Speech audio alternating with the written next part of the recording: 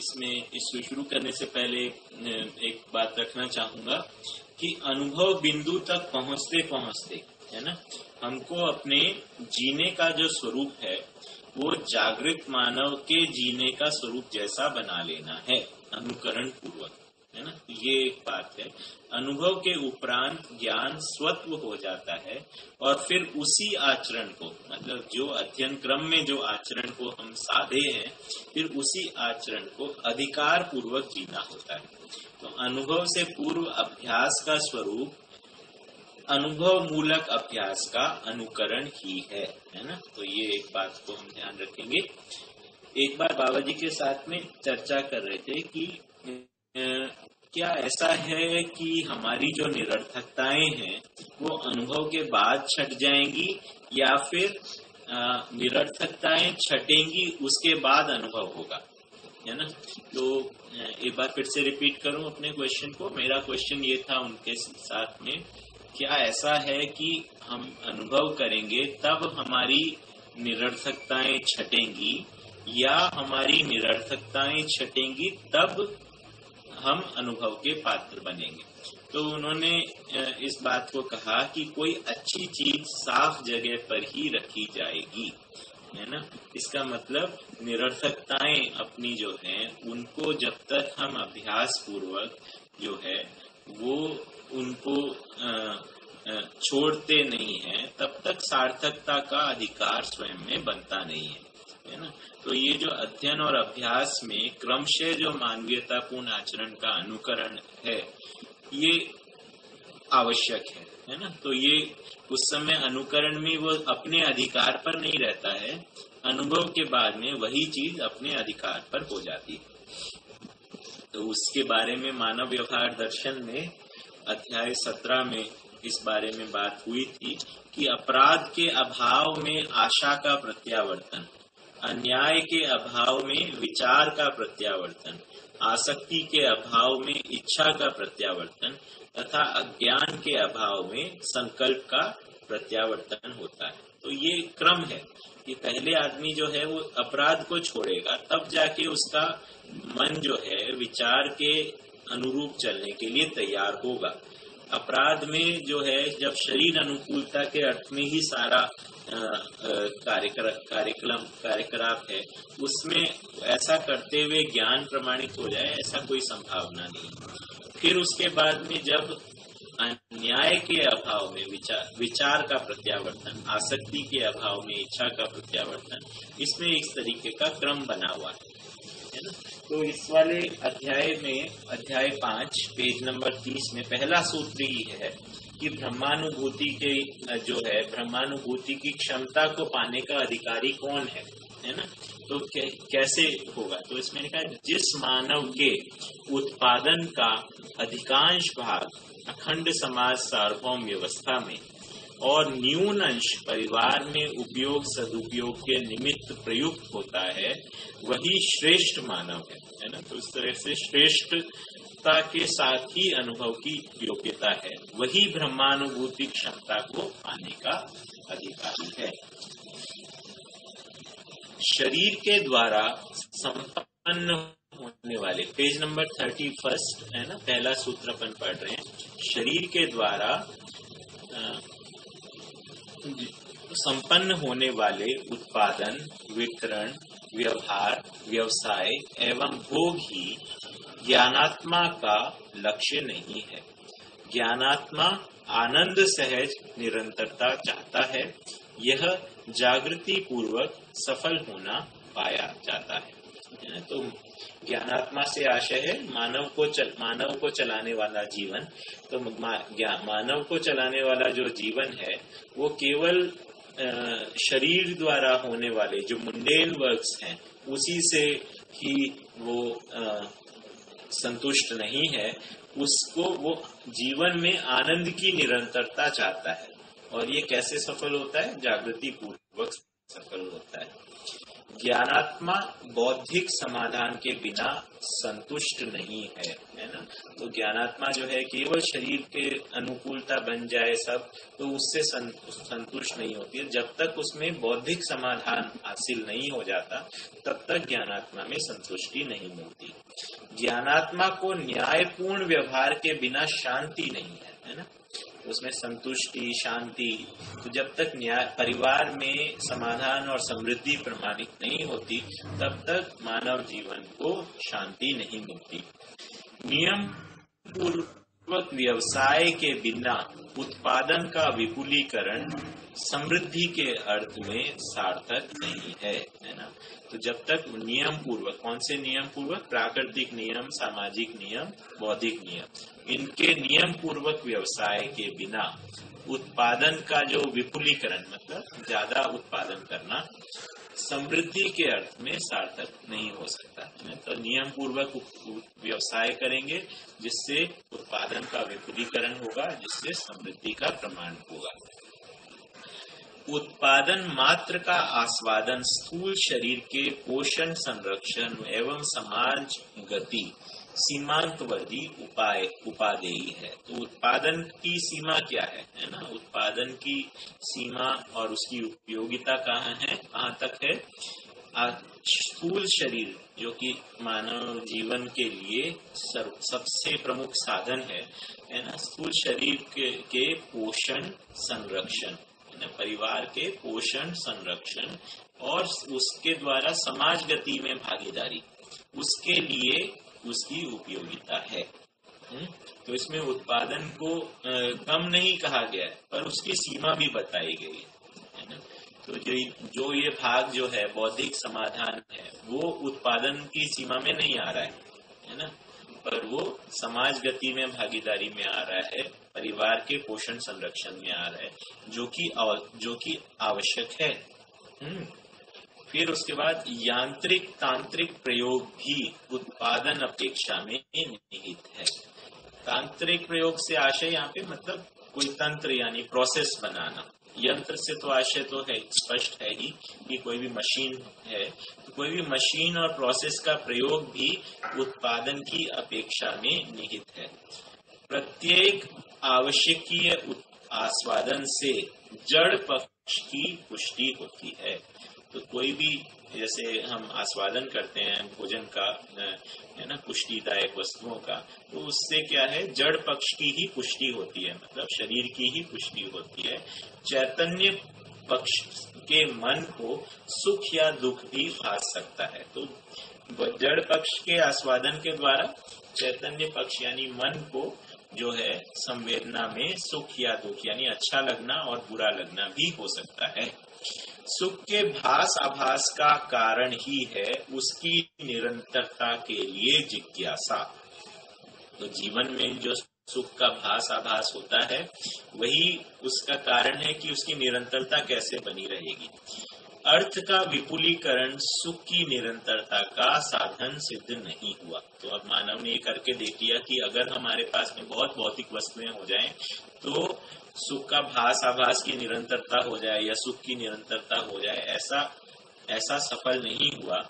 साथ ही अर्थ उपेक्षणीय भी नहीं है है ना? तो ये भी एक बात है कि भौतिकता जो है, वो उपेक्षा के योग्य भी नहीं है। उपेक्षा मतलब तिरस्कार के युग में या उसको छोड़ देने के लिए भी नहीं है।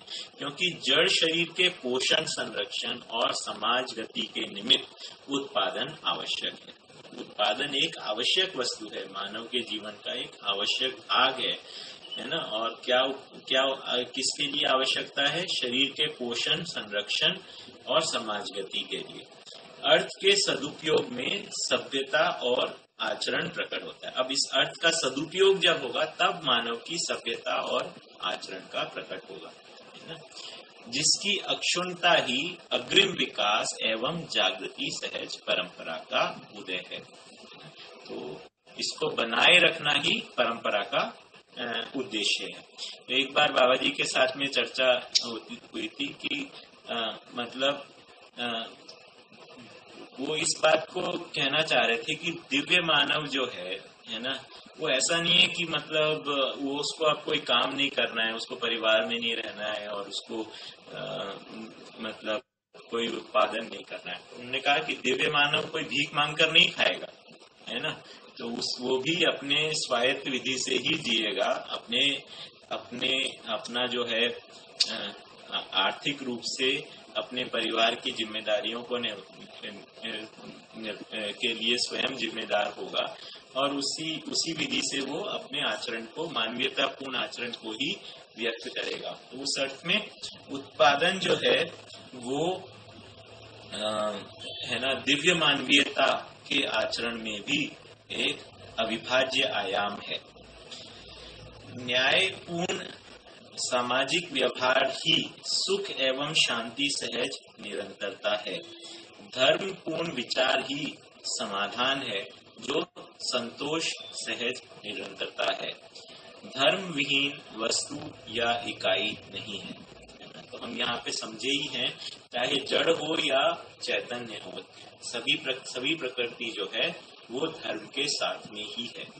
प्रत्येक इकाई में रूप गुण स्वभाव और धर्म का अध्ययन प्रसिद्ध है। तो हमने इस बात का स्थान स्थान पर अध्ययन किया है कि प्रकृति की जो इकाइयाँ हैं, उसकी पूर्ण व्याख्या हो जाती है अगर इन चार आयामों को हम अध्ययन कर लेते हैं उसके तो इकाई का रूप है, उसका परस्परता में प्रभाव है है ना? उसकी उपयोगिता और पूरकता है, उसकी या उसकी मौलिकता, उसका स्वभाव है। और धर्म उसकी जो है आइडेंटिटी है, उसकी अविभाज्यता है। है ना जिससे उसके साथ में जिसका जिससे जो उसकी धारणा है तो इस तरीके से रूप, गुण, स्वभाव और धर्म के रूप में प्रकृति की सभी इकाइयाँ हैं ना? और इस प्रकार से जो प्रकृति को एक व्यवस्था के रूप में पहचानना बन पाता है। और उसका जब जब कोई चीज़ व्यवस्था के रूप में होती है, तभी उसका अध्ययन हो सकता है। अगर कोई चीज़ माया है है ना? एक इल्यूजन है या कोई केओस है मतलब जिसके अंदर कोई व्यवस्था नहीं तो उसका अध्ययन नहीं हो सकता ब्रह्मानुभूति ही परमानंद है यही आनंद की निरंतरता है अनंत सहज निरंतरता है ना तो परमानंद को कहा है आत्मा जो है जो व्यापकता में अनुभव करती है उसको परमानंद कहा है और बुद्धि जो आत्मा में अनुभव करता है उसको आनंद कहा है तो आनंद की निरंतरता जो है और और ना परमानंद जो है, जो कि आत्मा में अनुभव है, ये दोनों साथ साथ होने वाली चीज़ है। चैतन्य इकाई में गठन परिणाम नहीं है मतलब उसका कोई गठन बदलता नहीं है।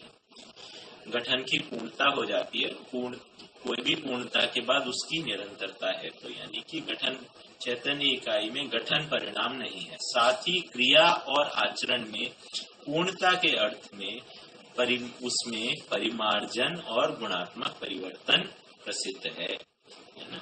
तो ये वाली बात भी स्पष्ट है कि जीव चेतना से मानव चेतना तक में गुणात्मक परिवर्तन है और फिर उसके बाद में उसका परिमार्जन है, यानी और उसके अंदर मांझना होता है और उसमें चमकाना होता है।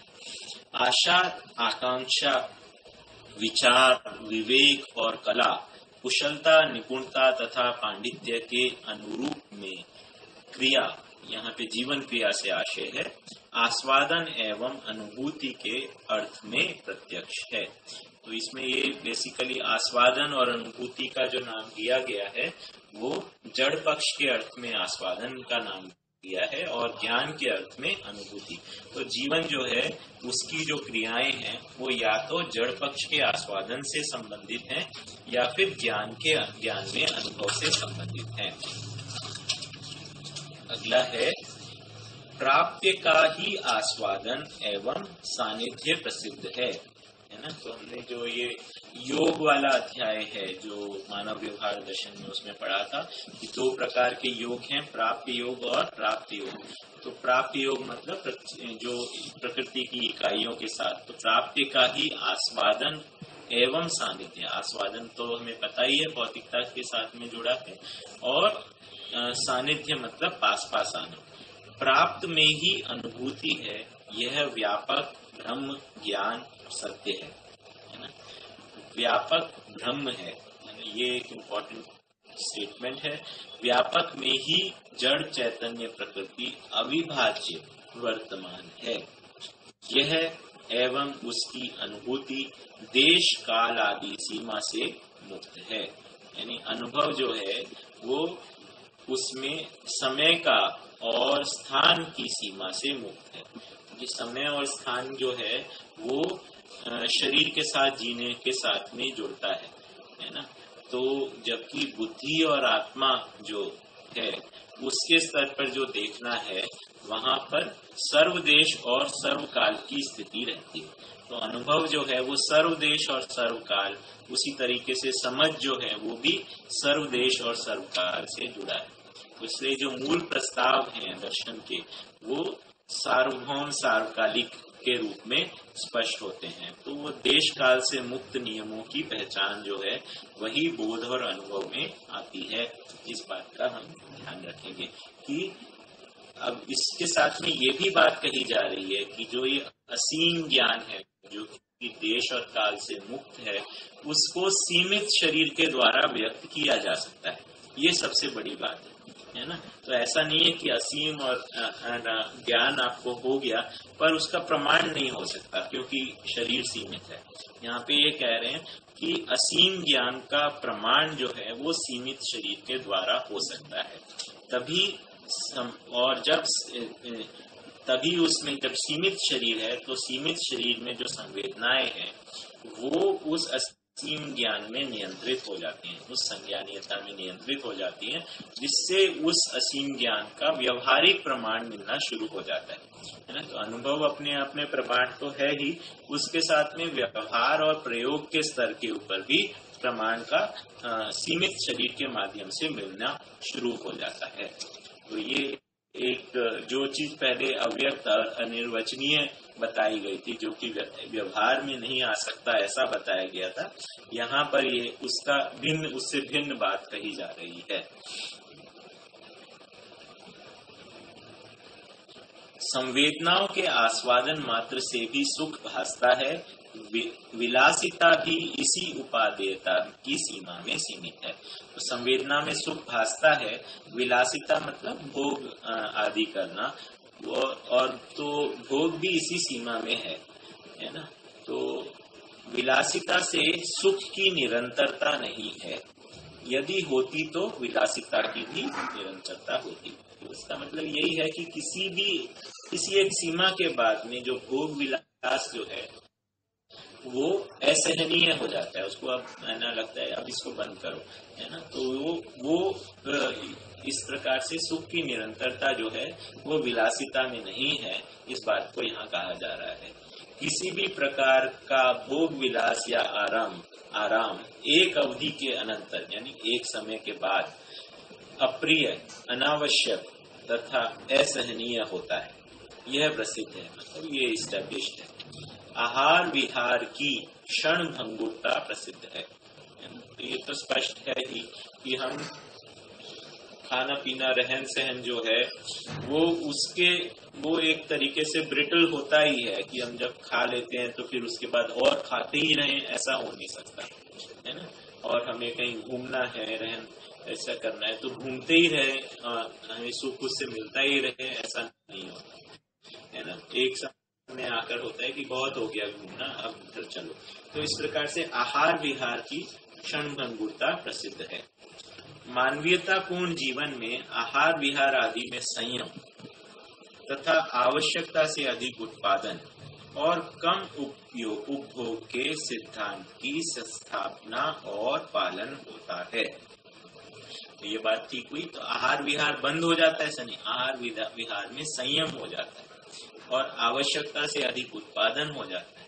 और जितना उत्पादन है, उससे कम उपभोग हो जाता है। है ना? तो उत्पादन खूब करना है और उससे कम उपभोग करना है और जो शेष है, उसको सदुपयोग में लगाना है। ऐसा मानवीयता के स्वरूप में स्थापित होता है। एशना त्रय में, है ना? वो हम बात किए थे लोकेशना वित्तेषणा, कुत्तेषणा। इसमें से वित्तेषणा से कुत्तेषणा और उत्तेजना से लोकेशना श्रेष्ठ होने के कारण मानवीयता से अधिक स्थिति, अति मानवीयता को पाने के लिए जिज्ञासा प्रसिद्ध है। तो वित्तेषणा जो है वो भौतिक वस्तुओं से संबंध है। उत्तेजना जो है वो मानवों से संबंधित है ना? और जनों, और लोगों के हमारे साथ हो जाए। है ना?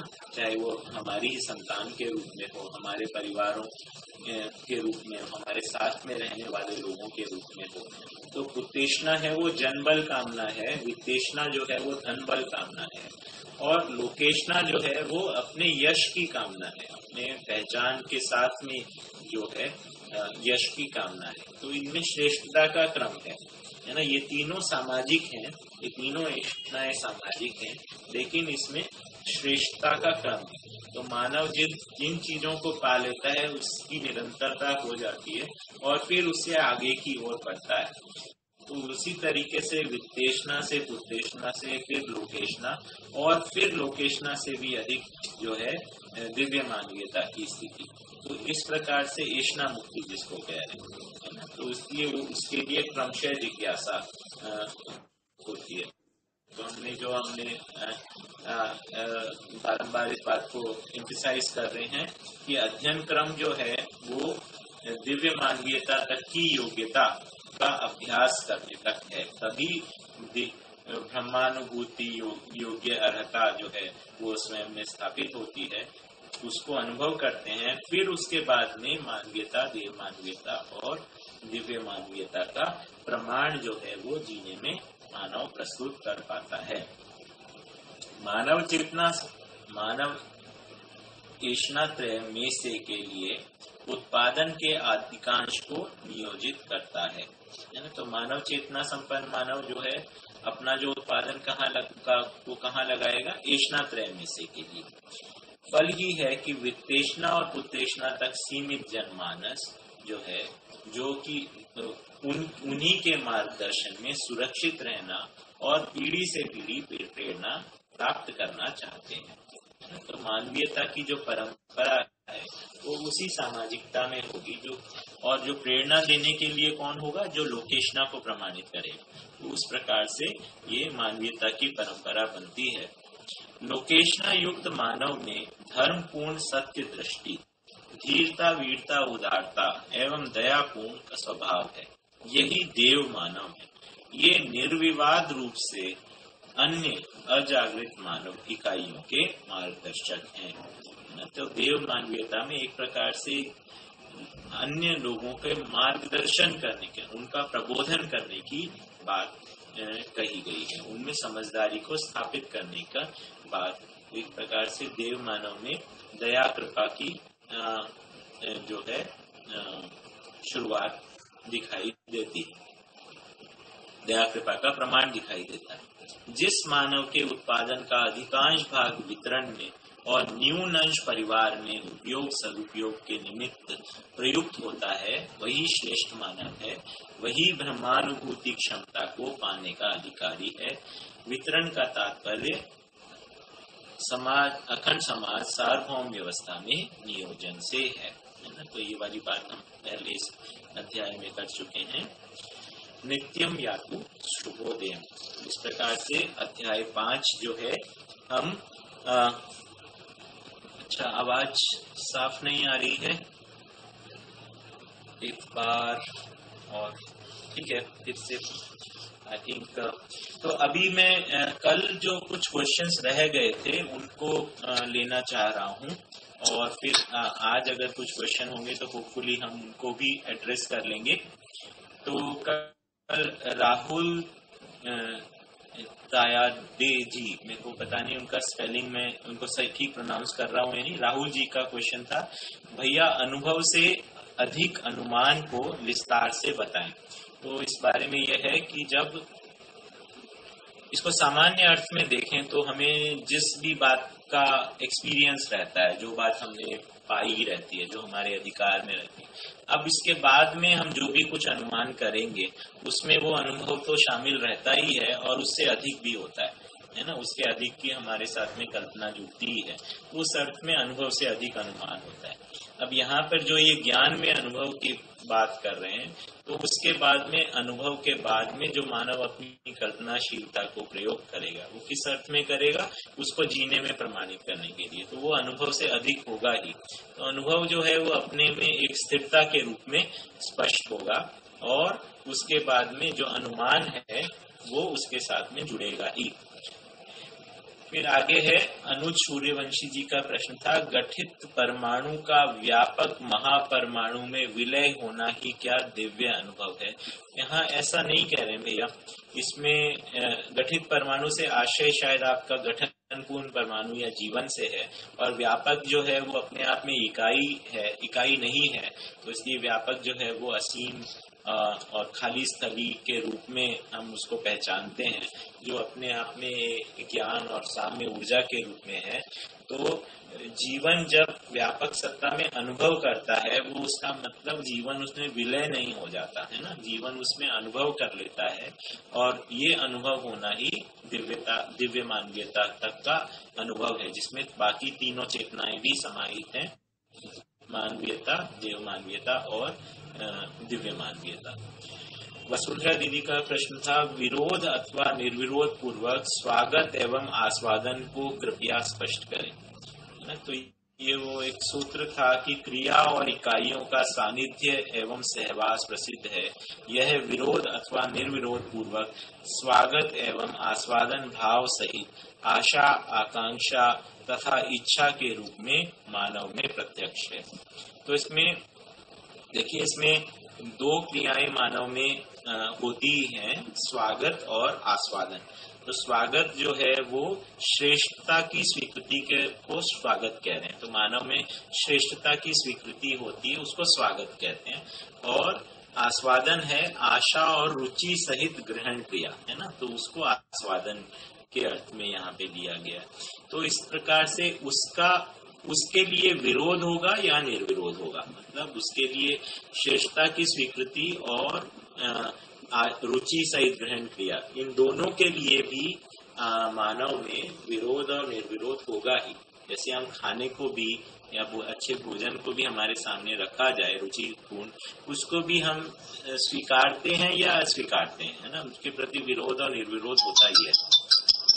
इसी तरीके से उसी तरीके से जो हमारे पास में आ, कोई ज्ञान के अर्थ में हमारे सामने कुछ प्रस्तुति होती है उसका भी हम या तो स्वागत करते हैं या फिर स्वागत नहीं करते हैं।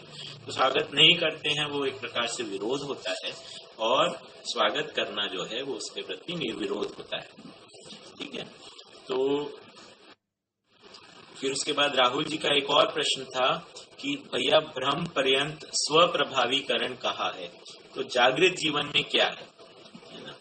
है जागृत जीवन और शरीर के वियोग की क्या स्थिति है?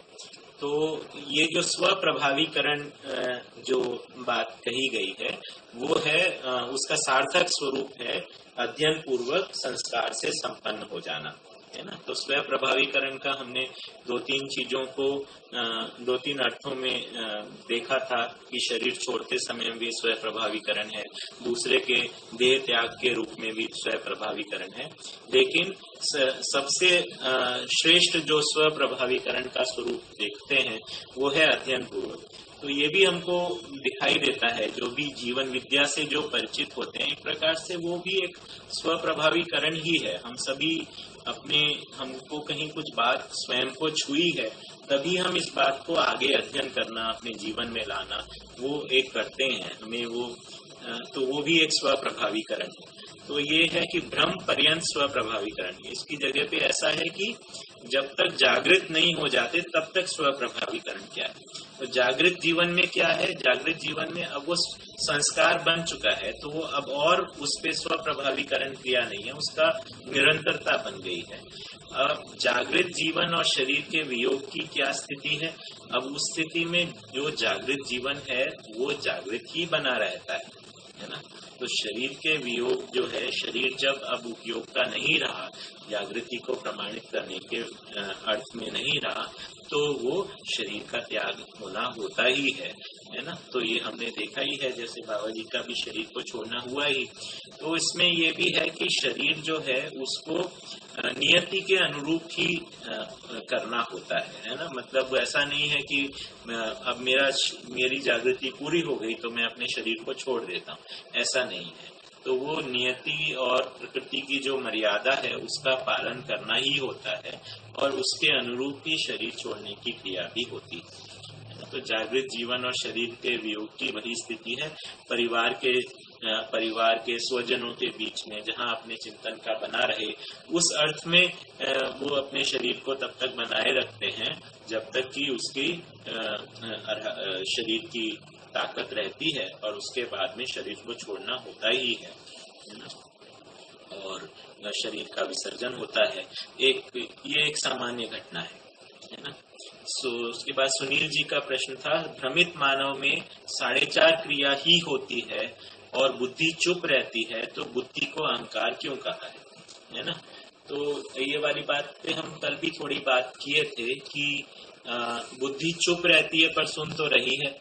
है ना तो इसका मतलब ये है कि बुद्धि जो है, जो चित्रण बन रहे हैं, उनका दृष्टा बनी ही रहती है है ना? और जो जो उनको अस्वीकार करती रहती है तो उससे एक प्रकार की पीड़ा भी बनी रहती है। तो ये वाली स्थिति जो अस्वीकार करती है, जो भ्रमित चित्रणों का को अस्वीकार करती है, उसको उसकी जो है तो वही एक अस्वीकार करना ही अहंकार का एक स्वरूप है। और बुद्धि ही अहम का स्वरूप है। मैं की पहचान जो है, वो बुद्धि के बुद्धि के द्वारा ही है है ना? तो बुद्धि में ही ज्ञान की स्थली है, जानने की चिर स्थली के रूप में बुद्धि को पहचाना गया है तो उस अर्थ में बुद्धि के चुप होते हुए भी बुद्धि का को ही अहंकार की संज्ञा दी गई है। और बुद्धि जब अपने से श्रेष्ठ आत्मा को पहचान लेता है, आत्मा को आत्मबोध हो जाता है, तभी अहंकार का अभाव होता है और अनुभव मूलक विधि से बुद्धि फिर संकल्प के साथ में कार्य करती है। संकल्प के साथ में कार्य करने को अहंकार नहीं कहा गया। फिर अनुज जी ने, अनुज सूर्यवंशी जी ने प्रश्न किया है, देव मानव देव मानव और दिव्य मानव को अनुभव क्या भिन्न भिन्न होता है? तो इसमें इसका उत्तर कई बार आ चुका है कि अनुभव एक ही होता है और इसमें प्रमाणित करने के क्रम में श्रेष्ठता होती है तो अनुभव में कोई वेरिएशन नहीं है। तो अध्ययन अभ्यास पूर्वक मानव चेतना, देव चेतना और दिव्य चेतना, इन तीनों का ज्ञान अर्जित होता है। और उसके अनुरूप अभ्यास होता है, उसके फलस्वरूप अनुभव की पात्रता बनती है।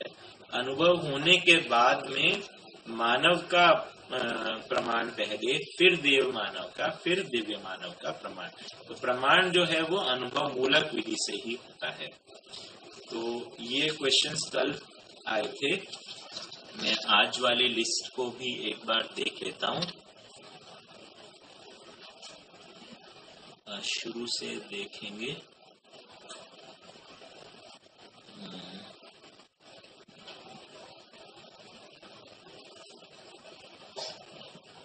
उमेद भैया ने कहा है क्या दर्शन को मूलतः विद्या के समानांतर रख सकते हैं क्या? आ, मुझे समझ नहीं आया इसका मतलब क्या है कि विद्या के समानांतर क्या ऐसा कह रहे हैं कि जीवन विद्या के समानांतर नहीं मुझे स्पष्ट नहीं हुआ प्रश्न भैया आपसे जब अलग बात होगी तो आ, मुझे अलग से लिख सकते हैं इस बारे में। श्यामवीर सिंह भैया ने लिखा है भैया यदि तीव्र इच्छा शरीर संवेदना के अर्थ में है तो वह संवेग नहीं है। शरीर संवेदना से संबद्ध तीव्रता है तो वह परिणाम आवेश प्रास गति ही होना है। इस, ऐसा इसे समझा जाए। तो भैया, तीव्र इच्छा जो है, वो केवल शरीर संवेदना के अर्थ में नहीं है। जो भी चीज़ को प्रमाणित करना है, उसके लिए, जीने में जो लाना है, उसके लिए तीव्र इच्छा है। है ना? तो तीव्र इच्छा जो है, उस तरीके से क्रिया के अर्थ में है, जो जिस इच्छा को क्रियान्वित करना है। तो सभी जो ज्ञान जो है वो शरीर के द्वारा ही प्रकाशित होगा और उसके लिए तीव्र इच्छा का होना आवश्यक है है ना? तो तीव्र इच्छा का परिणाम हमेशा आवेश और ह्रास होगा, ऐसा नहीं है। तो ज्ञान को प्रमाणित करने और ज्ञानार्जन करने के लिए भी तीव्र इच्छा होगी और उस तीव्र इच्छा को आवेश नहीं कहा जा सकता। हाँ ऐसा भी हो सकता है कि भ्रमित रहते तक जिन चीज़ों के लिए तीव्र इच्छा होती है, वो आविष्कारक हो सकते हैं।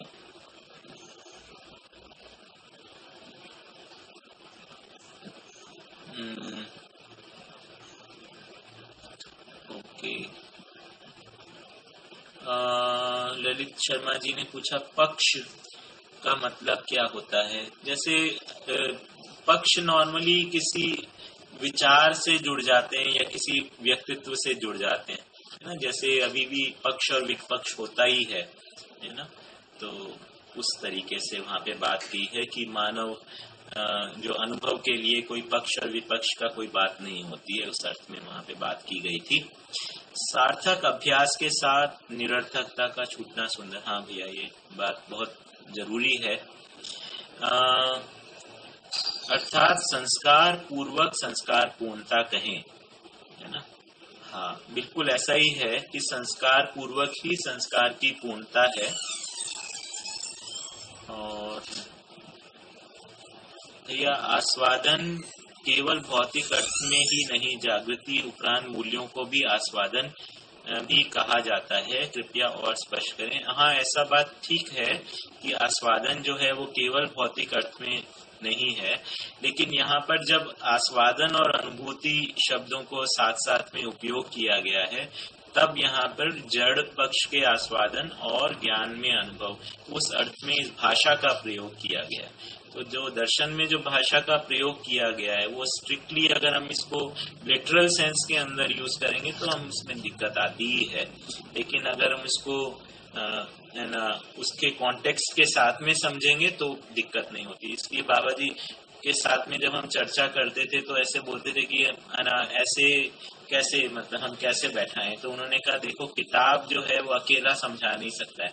किताब के साथ में कोई आदमी होना ही होगा जो उसको समझा हुआ है। तो उसके कॉन्टेक्स्ट को वो क्लियर करेगा, क्योंकि कोई भी चीज़ को समझने के लिए जो बहुत सारे कॉन्टेक्स्ट को साथ में रेफरेंसेस को देना होता है। वो एक आदमी ही कर सकता है। वो कोई किताब या कोई मशीन उसको नहीं कर सकती है। है ना? भैया तो क्या व्यक्ति हर तरह के ज्ञान का स्वागत करेगा? आ, आ, नहीं ऐसा बात तो नहीं कह रहे हैं। हम यहाँ पे स्वागत जो है मतलब जिस अर्थ में यहाँ पे यूज़ किया गया है, वो जागृति के अर्थ में ज्ञान का स्वागत किया है। तो हमने वहाँ पे दो बात की थी, आस्वादन और स्वागत का जीवन में स्वरूप बना रहता है है ना? तो स्वागत जो है वो समझने के अर्थ में होता है और आस्वादन जो है वो यहाँ पर भौतिकता के अर्थ में बात किया गया था, है ना? और उसके विरोध और निर्विरोध का स्वरूप बना रहता है। तो मानव जो है वो ज्ञान का स्वागत करने के रूप में रहता ही है है ना? और चाहे वो भौतिकता से संबंधित ज्ञान हो या फिर व्यवहारिक ज्ञान हो है आ, आगे है आगंतुक गुण ही कल्पना है। आगंतुक गुण का तात्पर्य मानवीय प्रकृति के अनुसार जीने की कल्पना करना है। बढ़िया। तो आशा विचार इच्छा क्या केवल मानवेतर के साथ जीने की कल्पना के ही निमित्त है? आ, नहीं ऐसा नहीं है है ना? तो आशा विचार इच्छा जो है वो आ, केवल मानवेतर के साथ जीने के लिए ही निमित्त नहीं है। आशा विचार इच्छा का एक सार्थक स्वरूप भी है जो कि जो कि अनुभव मूलक जीना है और अनुभव के लिए उसको नियोजित करना है। तो जब हम अनुभव के लिए नियोजित करते हैं तो आशा विचार इच्छा जो है मानवीय प्रकृति के अलावा जो मानवीय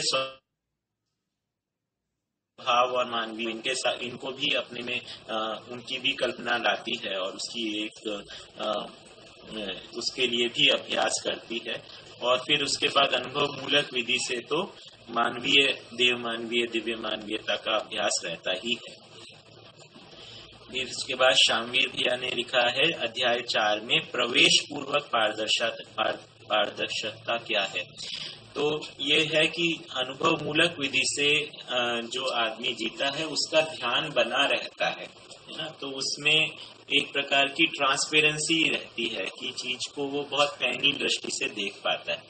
तो एक बार बाबा जी के साथ में ऐसी बात हो रही थी तो उन्होंने कहा था कि जब भी कोई चीज़ हम, आप देखते हैं तो उसका उसको तीन आयामों में देखते हैं है ना?